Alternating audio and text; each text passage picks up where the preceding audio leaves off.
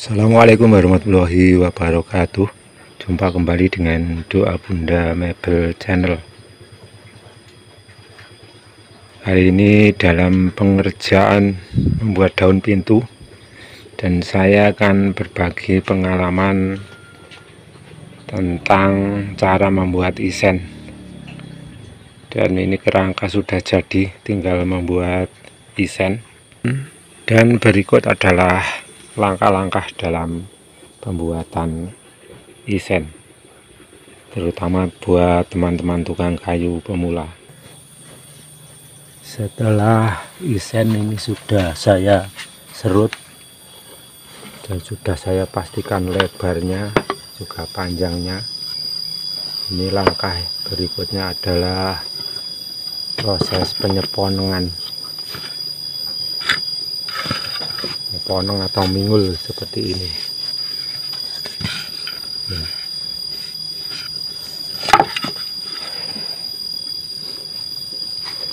karena papan ini setebal 2,5 cm maka saya seponong sedalam 1 cm sebelah kanan sebelah 1 cm kemudian yang sebelah lagi 1 cm untuk yang bagian tengah saya seponong dengan kedalaman 8 mili dengan cara membuat penghalang seponong seperti ini. Ini yang sudah saya upload beberapa waktu yang lalu. Ini bisa kita setting naik turun. Jadi bisa kita atur kedalaman seponong sesuai dengan yang kita inginkan. Kalau ini kita dorong ke atas maka dalaman seponong adalah 1 cm dan ini saya turunkan kurang lebih 2 mili. Sebelum di seponong saya garis dulu. Saya berusut dari sisi sebelah kanan 1 cm kemudian dari belakang juga 1 cm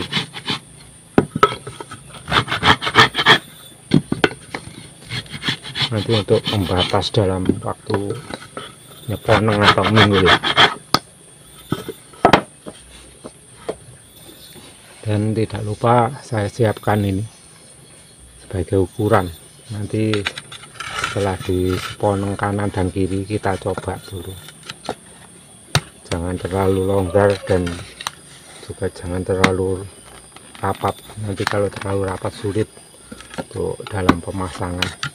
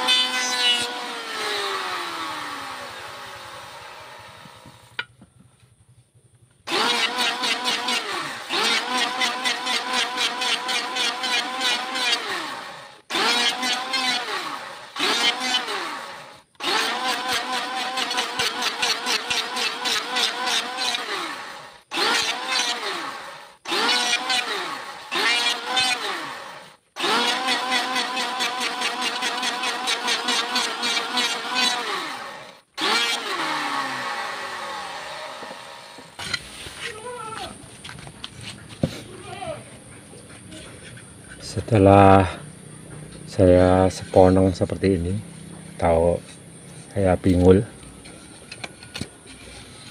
langkah selanjutnya untuk menambah seni pada daun pintu ini nanti saya profil di sini untuk isen. Saya profil cekung. Karena untuk kerangka kerangkanya saya profil cembung. Jadi nanti untuk isennya saya profil cekung. Untuk mata profilnya yang cembung tapi hasilnya nanti cekung di sini. Kemudian sebelum saya profil ini yang perlu diperhatikan buat teman-teman tukang kayu pemula ya. Ini saya memberikan pengalaman walaupun dengan alat yang sangat sederhana hanya menggunakan serut dan router. Ini sebelum diprofil yang perlu diperhatikan adalah kita amplas dulu. Karena waktu mengamplas saya menggunakan gerinda jadi untuk pengamplasan di, harus dilaksanakan sebelum diprofil dengan alasan kalau ini sudah diprofil lalu baru kita amplas maka takut amplas mengenai profilan yang sudah ada dan nantinya bisa cacat. Apalagi kalau kita mengerjakan kayu yang tidak begitu keras seperti ini ini kayu mindi. Kalau di amplas menggunakan gerinda cepat sekali karena agak lunak. Dan langkah selanjutnya adalah ini mau saya amplas dulu menggunakan gerinda. Untuk amplas saya menggunakan nomor 100 dan ini saya lem karena daya rekatnya ini apa patakan ini sudah enggak begitu kuat. Takut lepas maka saya kasih dengan lem G atau lem Korea. Keuntungan dari lem ini adalah memperkeras ini karet ini dengan lebih kerasnya karet ini maka tidak mudah aus tidak kalah terkena seponeng kayu ini di waktu kita mengamplas karena sering ini daya, lekatnya masih kuat tidak saya kasih lem tapi bagian pinggir sini kalah akhirnya semakin mengecil untuk tatakan gerinda ini di waktu mengamplas saya usahakan untuk bagian yang pinggir sini tidak terlalu saya tekan. Karena khawatir nanti semakin tipis. Jadinya kalau diisikan jadi longgar. Karena kayu ini juga agak lunak. Maka untuk pengamplasan saya fokuskan bagian tengah sampai sini. Untuk bagian pinggir kurang lebih satu cm ini saya usahakan kalau mengamplas sangat tipis sekali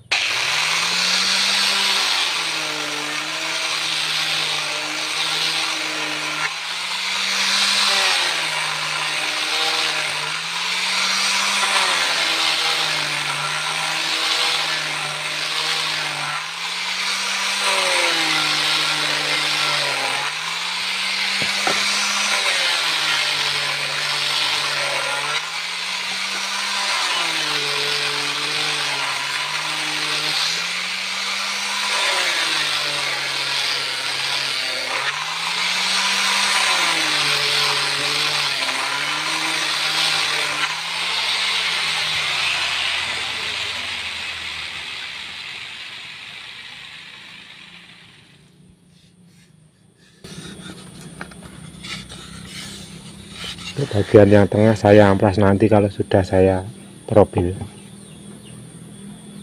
setelah seponeng saya amplas semua ini langkah selanjutnya adalah merofil atau meruter. Ini saya menggunakan mata profil yang double jadi cekung dan cembung atau boleh dibilang yang letter S. Karena mata profil ini agak besar ya ukuran besar mungkin 12 mili. Sedangkan untuk sepono ini tadi hanya 8 mili. Maka mata router ini saya munculkan kurang lebih 6 atau 7 mili. Agar tidak memakan isen daun pintu ini mata router ini saya custom sendiri dengan cara membuang bearing dan as bearingnya. Kemudian untuk penggait ini saya menggunakan penggait ini dengan jarak sesuai dengan lebar sepono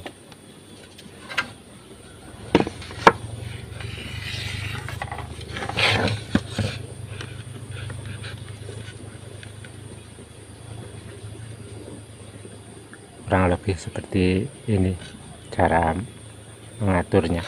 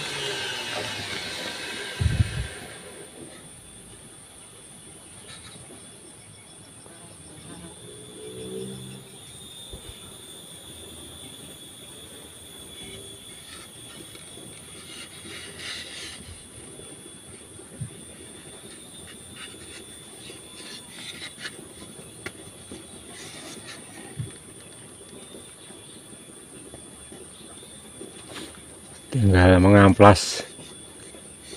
Jadi untuk profilan ini diamplas secara manual.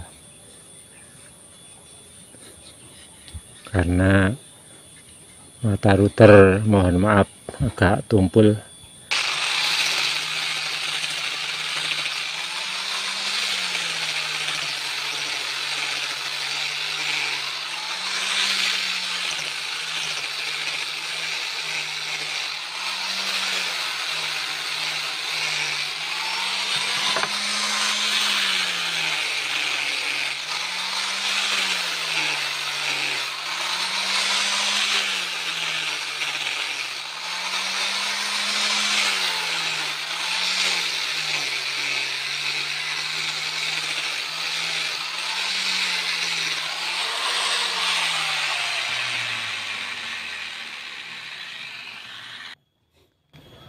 karena di waktu pengelupan kerangka ini saya menggunakan mata router sejenis ini.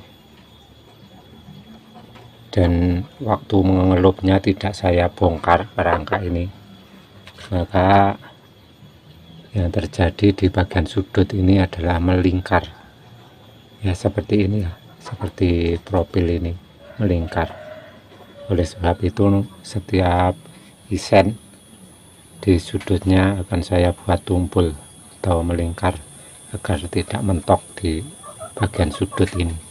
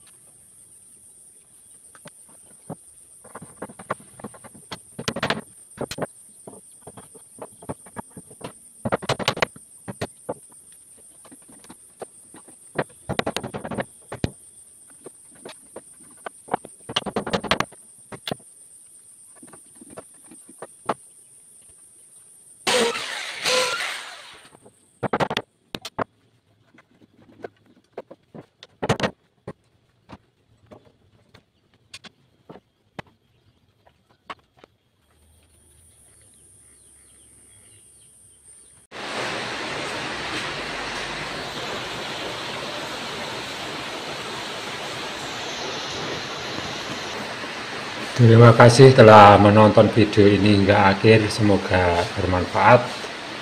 Wassalamualaikum warahmatullahi wabarakatuh.